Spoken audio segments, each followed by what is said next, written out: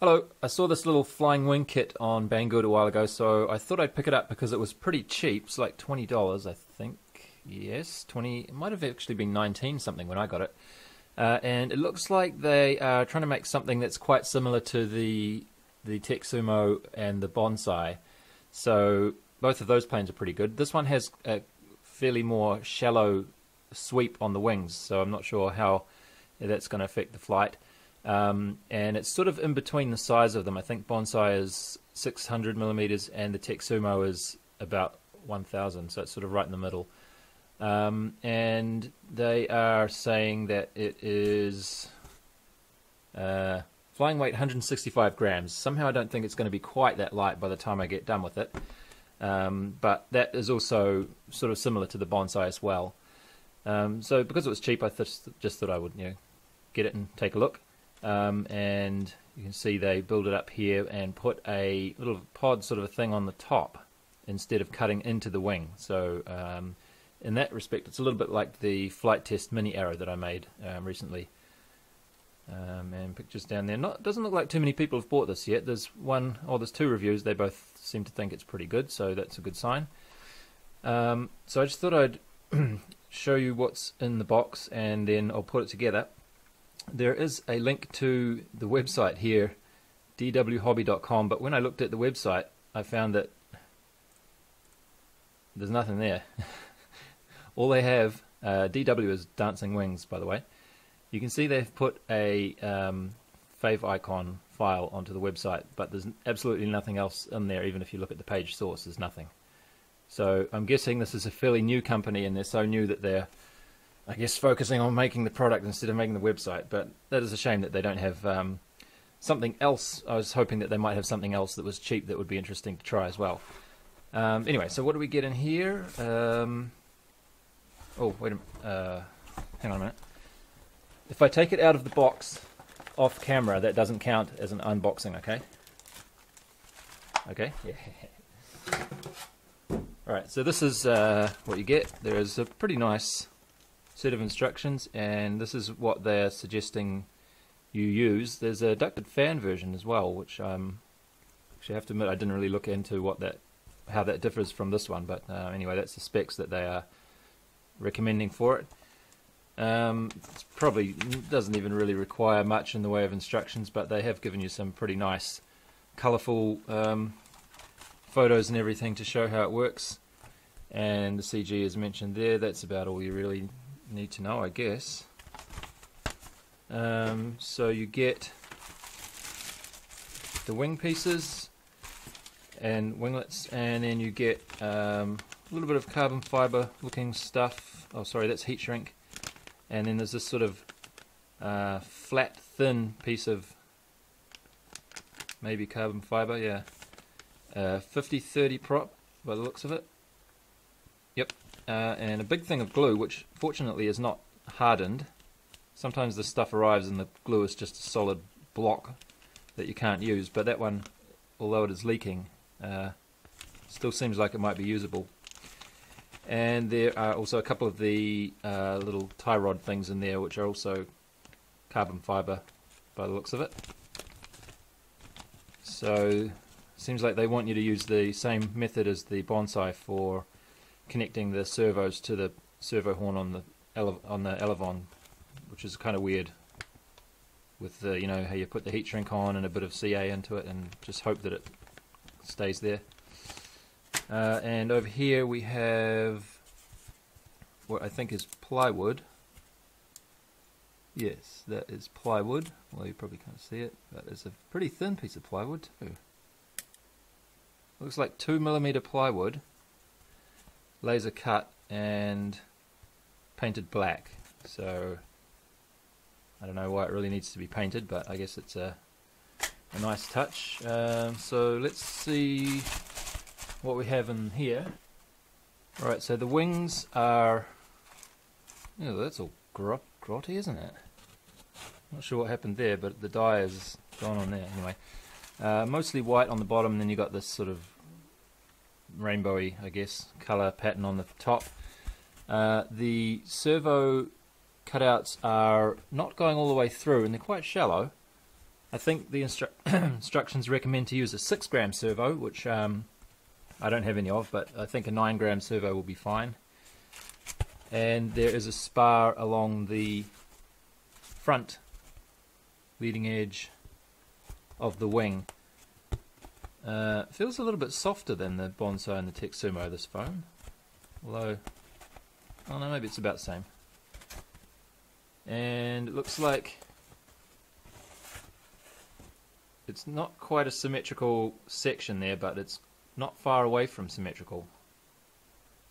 That's at the root, and at the tip, the tip it almost looks like it is symmetrical. Oh no, not quite. Anyway, um, well, that's not very good, is it? You lift this end up, the the other side doesn't even move. and I'm pretty sure the um, attachment for the Elevon is going to go on there, isn't it? Yeah, it's right at the base of the Elevon there, so maybe you have to do quite a bit more, put a bit more of a cut into here to uh, loosen it up, because the way it is at the moment, that's just not going to work, is it? Look, see what I mean? Right, right down here, it's not even moving. Oh, it goes down. Doesn't go up though. Anyway, I'm sure we can solve that. Uh, and then we have uh, just winglets here. So that's the same as Teksumo and Bonsai as well. You just got to glue those on the end. Right, so that is what you get in the kit. Um, haven't actually decided what motor I'm going to put on here, but it will probably be an 1804. That's working okay on my Bonsai. Um, and I have another one spare, so um, yeah, that's probably what I'll do. The battery they uh, say to use here is um, uh, 2S 800 milliamp hour. It's pretty small, but I'll give that a try and um, see how it goes. After I bent the Elevons back to the extreme a few times, they seem to have come loose enough to the point where it's uh, it's actually decent when you move right at the tip here all the way down to the other end actually goes up quite a bit so that's fine.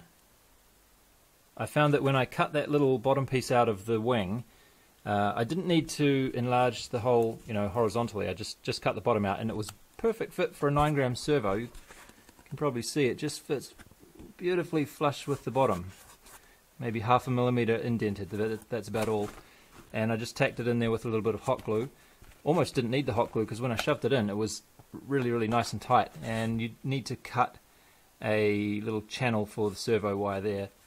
So it's actually going to be right in the middle of the wing um, where you have to glue them together. So I'm not sure.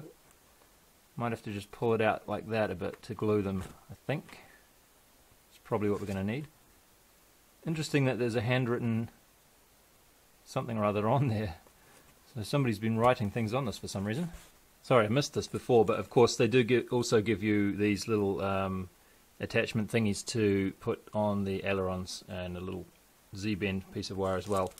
They are the zip tie kind of ones where you put put a little tab on the back on one side and then slide it through and it goes click click click and tightens up but uh, inevitably I find that you also need some hot glue to hold it tight as well.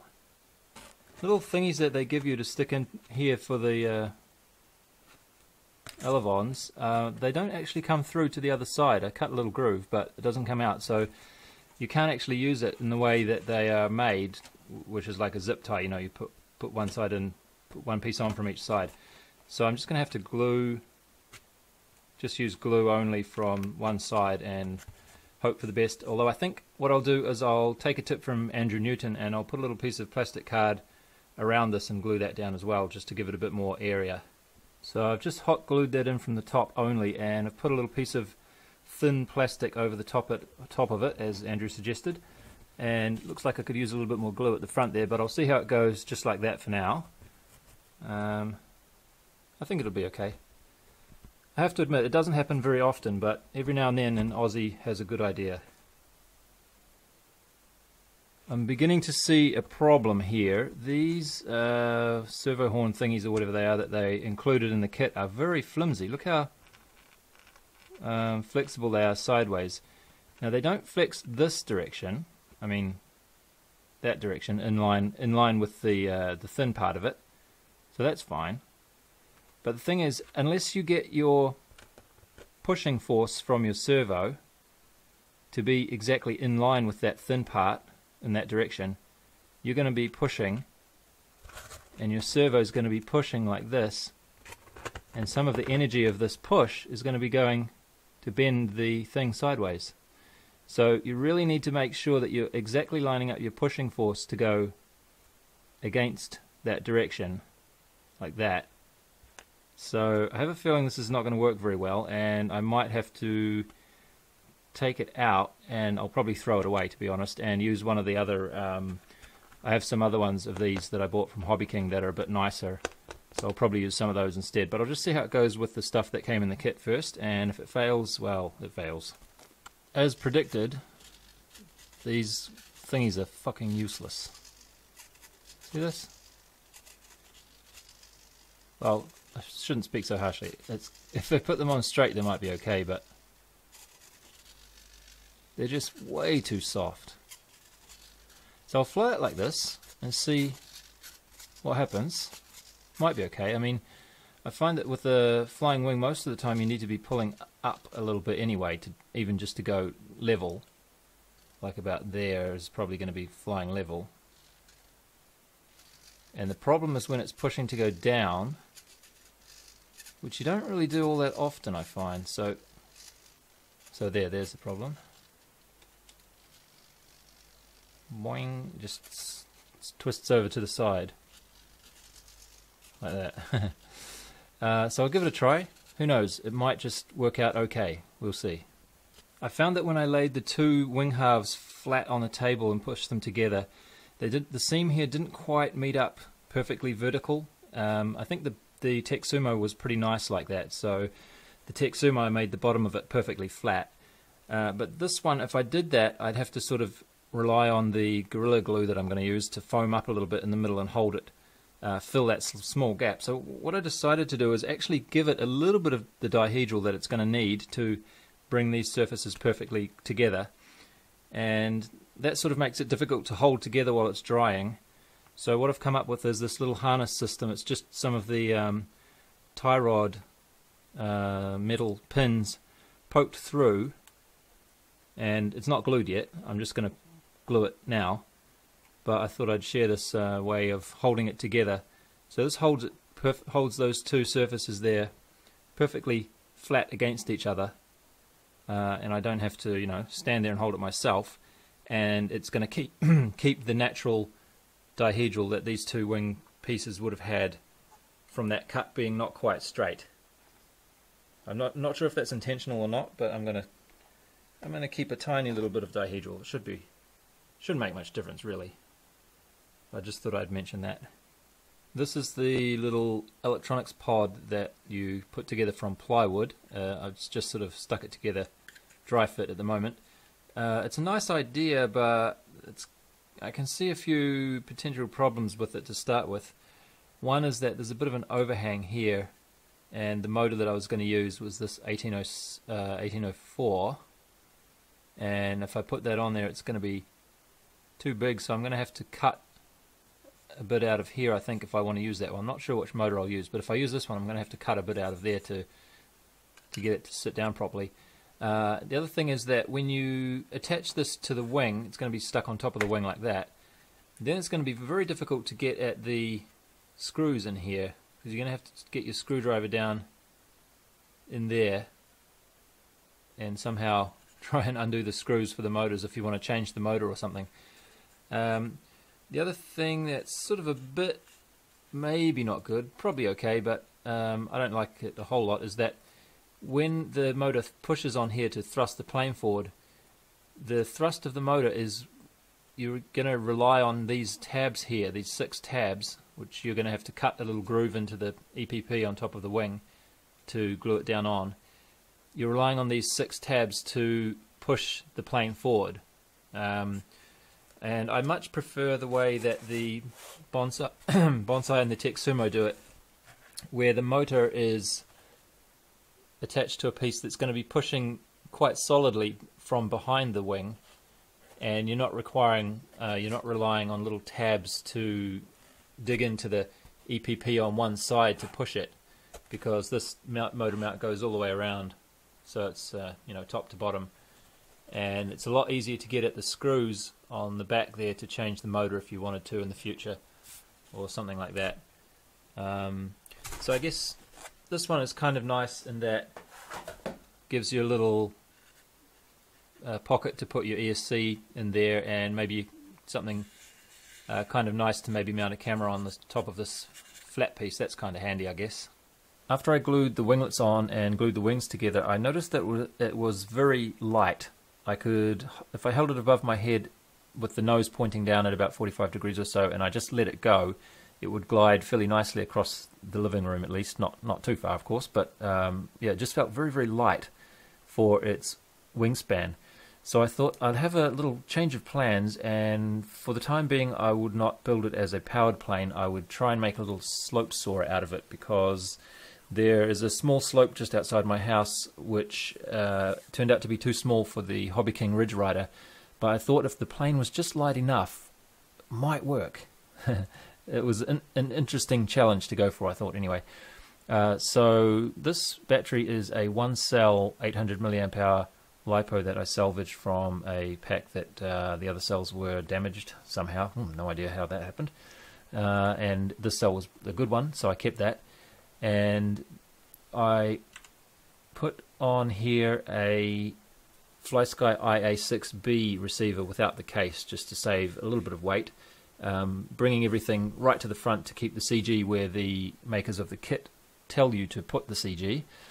And I found that this receiver and the servos that I'm using worked very well on a 1S power supply right down to about 3.5 volts or so I think. I didn't really check how far it would go down or if I did I forgot but I wasn't intending to go down past 3.5 volts anyway and the reason that I chose the IA6B instead of the slightly smaller three channel receivers that I um, actually, I don't have any spare anyway, but the point was that I wanted to know if this battery was going below 3.5 volts so I could stop. Um, and I found some tape. This is Scotchgard um, tape, and this actually sticks to EPP fairly well, which is quite a surprise. So I've started using that for this plane. Uh, and that's about all there is to it, actually. I added some couple more wires coming from here up to the pins on the top, and it's ready to go and it was about 120 grams or so I think by the time I got it all ready. And oh there we go there's the wires. And I had to add a little bit of nose weight there this $2.20 um, and the CG is supposed to be there. This is around about in line with the front of the two servos. If you drew a line between the front of the two servos it would be about there. I found that for at least what I was trying to do with the slope soaring this was too far uh, forward, yeah. So I actually ended up with it about a centimetre and a half back, so that's a little bit behind the back of the servos there. Uh, so I had to take this off because it just gave me an immediate nosedive every time I tried to throw it. Anyway, that is um, is that all? Oh, yeah. After a while, I tried cutting into the back of the um, flaps or the ailerons, and this improved things immensely but I had to be very, very careful. I, I basically just dragged my cutter knife across here without applying any pressure at all, and even so, I still managed to cut through to the other side a little bit, but it's still hanging there, and um, it flies. Basically, there's no problems whatsoever with the, the ailerons being twisty anymore. Anyway, let's have a look at some flying.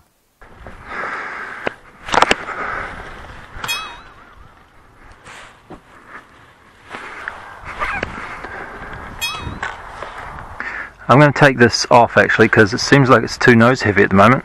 And this tape is really good.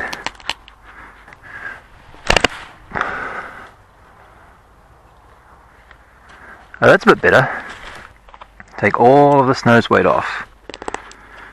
Wouldn't it be nice if actually taking this off is exactly what we need? Ready?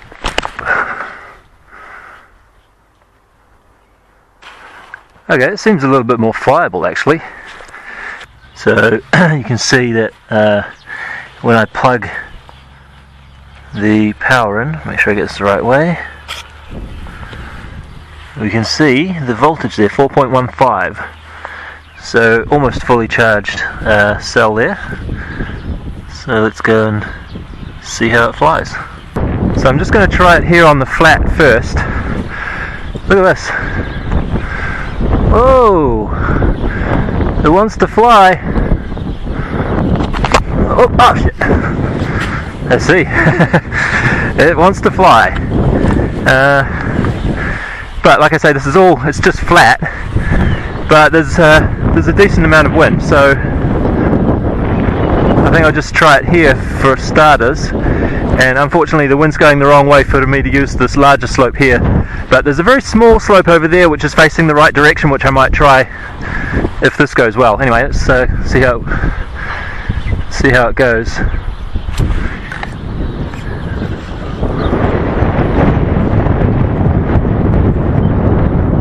Oh, it's not bad.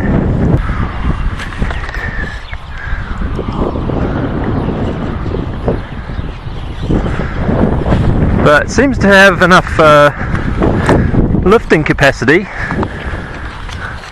It certainly goes up quite a bit when I throw. I'm just throwing it directly forwards here.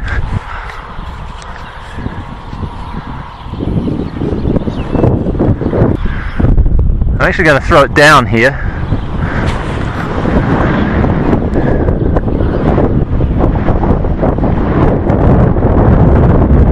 Okay, so it's getting pushed back.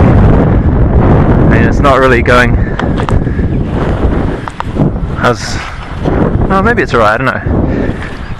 I guess because there's no slope, it's always going to get pushed back, isn't it?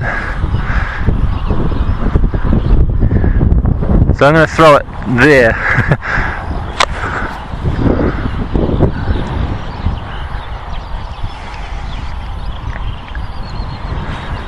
okay, we're over here now, but uh, it's not really much of a slope. As you can see, it's barely even any slope at all. And it's very, very shallow, but no, whatever. Give it a try.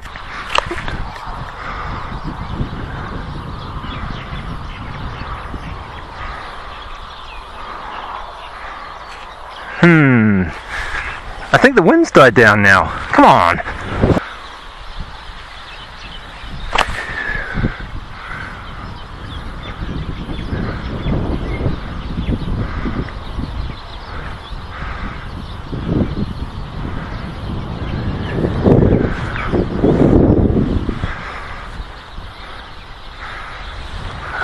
I'm flying it like this.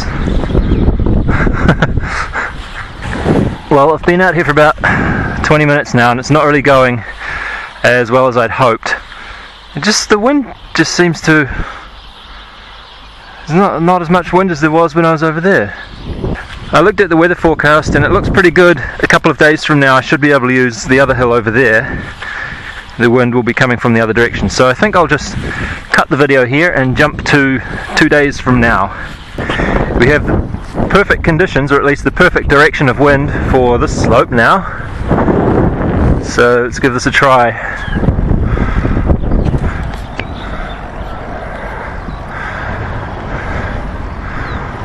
Oh, oh, come on, come on. Still not enough wind? Really?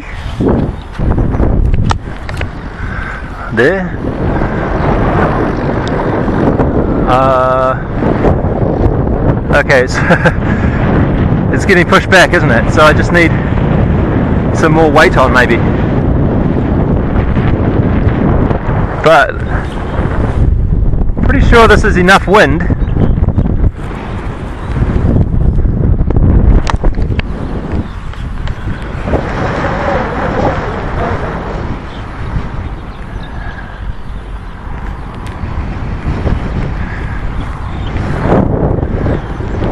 Oh, yep. Oh, yeah.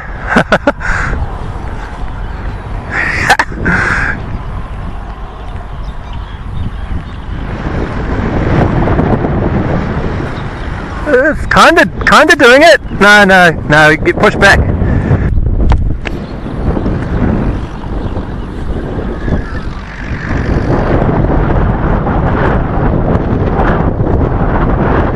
Yeah, it's just getting back, back, back, and back and back. Yeah, it's close, but it just can't make headway. So let me put put a two dollar coin on the bottom again. Okay, so I've attached a two dollar coin here. This is where the CG is for the plane at the moment. I have a feeling this is not going to be quite enough, but um, I can always just add another one maybe. Unfortunately, it started raining now, so. Um, I'm not sure if I'm going to be able to do this today after all, which is a pity because the wind coming from this direction is so rare. Only happens like once a month or so from what I've what I've seen so far. So this is really annoying.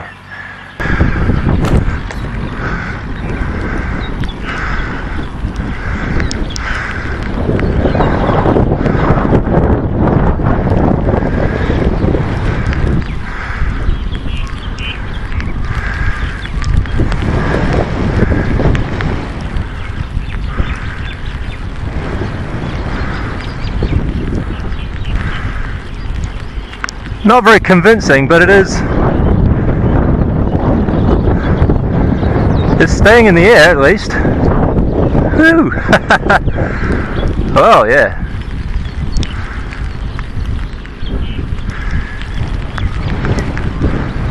Ah, ah. Well, that wasn't too bad.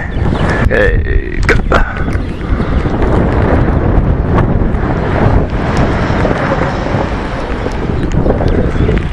Oh yeah, it's coming back.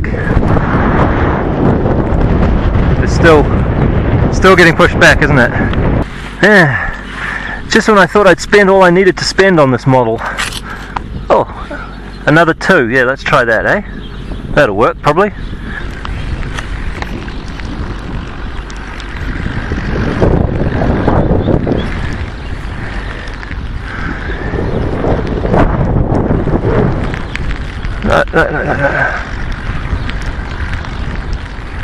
Ah. Feels maybe a little too heavy now.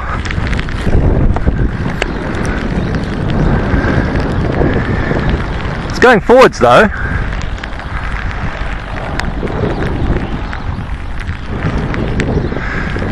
It's quite wobbly.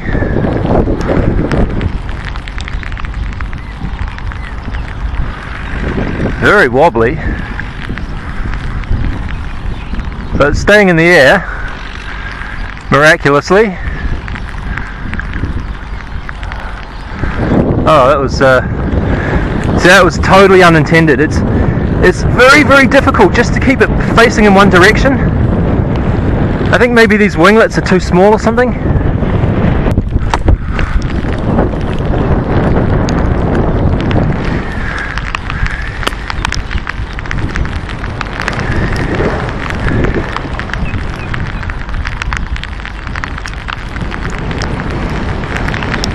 Ah.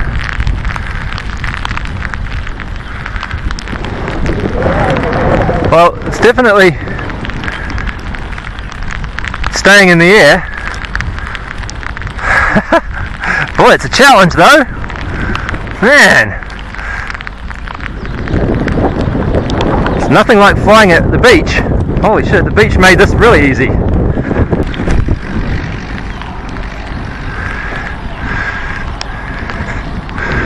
Well, that looked good.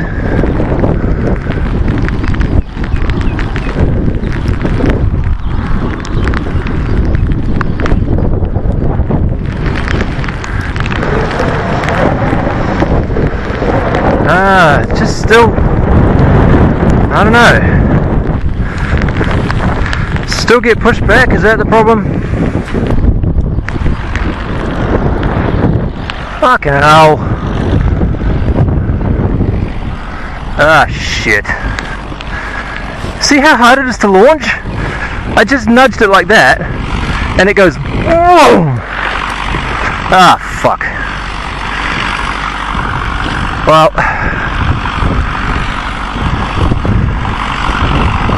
it was only a matter of time, I suppose, wasn't it? It's completely dead.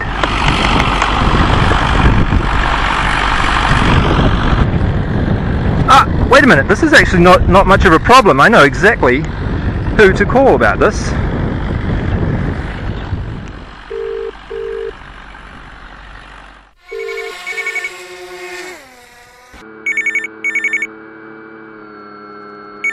Hello, this is International Rescue.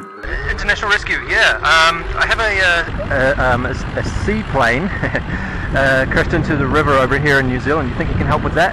Yeah, no worries, mate. We'll be right onto it. Oh, awesome. Wait a minute, did you say you're from New Zealand? Uh, yeah, yeah, New Zealand. Aren't you the guy that was making fun of Aussies just before? Oh, just a bit of fun, you know. I didn't, didn't really mean anything by it. It's, you know. Oh, sorry, actually, I remember we've got something else on this morning. Uh, I've got a new plane I've got a make. Oh, come on, man. Ah. useless. Well, so much for that plan. Let's try plan B. A big wiggly stick. Oh, come on. It was over there just before. I could have reached it with this. Alright, so I've put a, now a third stick on my sticks, long stick thing. Yep, that's good.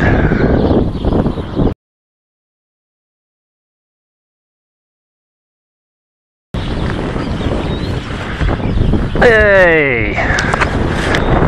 So, uh, in case you hadn't noticed, this is not just water.